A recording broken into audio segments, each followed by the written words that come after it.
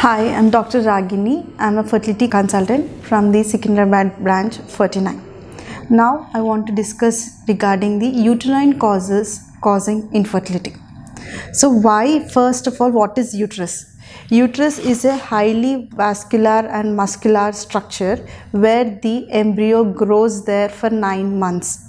So any pathology in this causes abnormalities any abnormalities and pathologies in this disturbs the growing fetus so we will talk about in detail what are the pathologies more common seen in the uterus so first thing uh, how we can describe is uterus has three layers outer layer serosa middle layer myometrium and the inner layer is the mucosal so outer serosal surface is the surface which is facing inside the abdomen cavity. So any conditions like fibroids or any infections where there causes a uterine adhesions will uh, causes the pathologies in the outer layer of the uterus.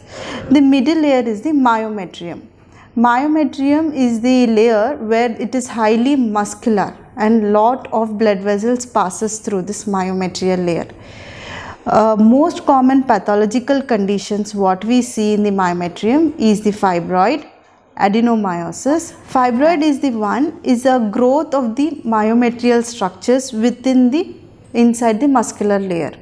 These fibroids can be anywhere. It can be outside the uterus, middle layer of the uterus or they can be in the inner layer of the uterus.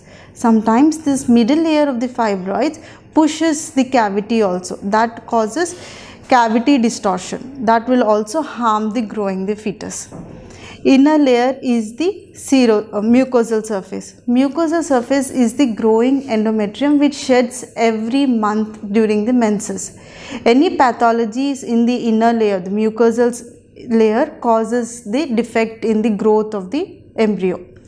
What are the conditions uh, arising from the inner endometrial layer is the polyps, fibroid indenting the cavity or Asherman's or synechiae or normal endometritis is the infection.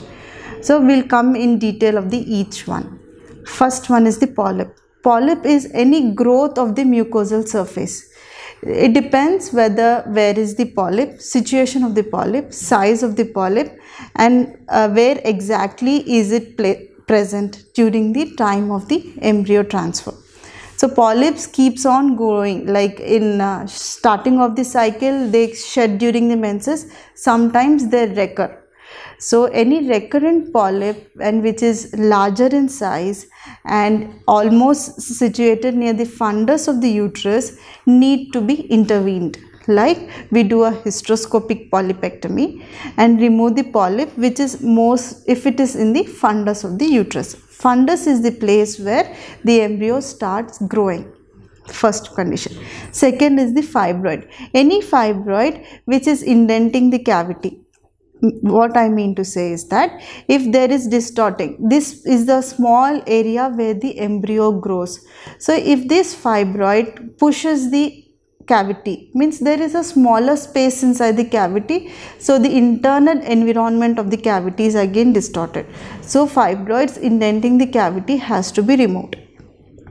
Third one is endometritis where there is a patchy infiltrate uh, hyperemic areas and there are micropolyps seen in endometriosis.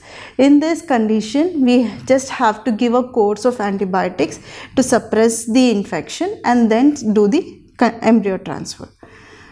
Other most commonly seen in a lower socioeconomic status is the Asherman's.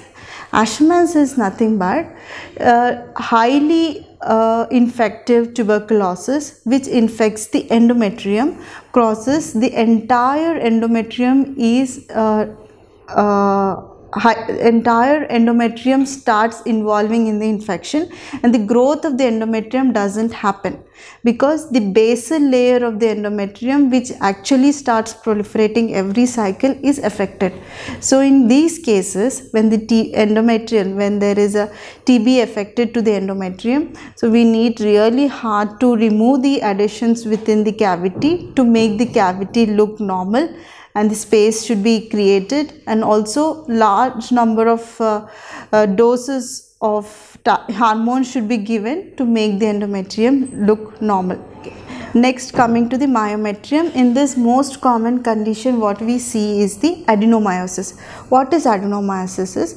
When the endometrium actually has to be in the inner layer of the uh, uh, uterus sometimes places within the myometrial layers that is the adenomyosis. The growth of the endometrial tissue inside the myometrium is adenomyosis. What really happens in adenomyosis is the uterus becomes large and bulky and uh, it lo loses its normal echo texture and it becomes so very much un, uh, un uh, what do I say uh, the environment created by adenomyosis is not so friendly for the growing embryo because it releases lots of reactive oxygen species because uh, the ROS, the environment in the uterus is so much hampered that the uh, endometrial lining sometimes uh, doesn't give up very well or the endomyo junction is lost.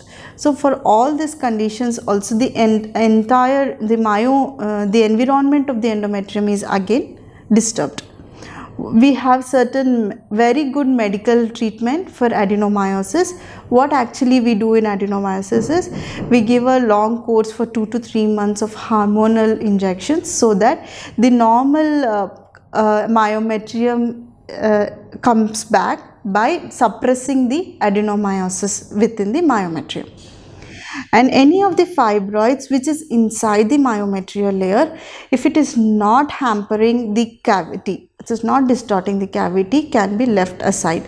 But intramyometrial fibroids when they are at the fundus of the uterus sometimes cause the um, microenvironment is again disturbed within the cavity so those have to be intervened.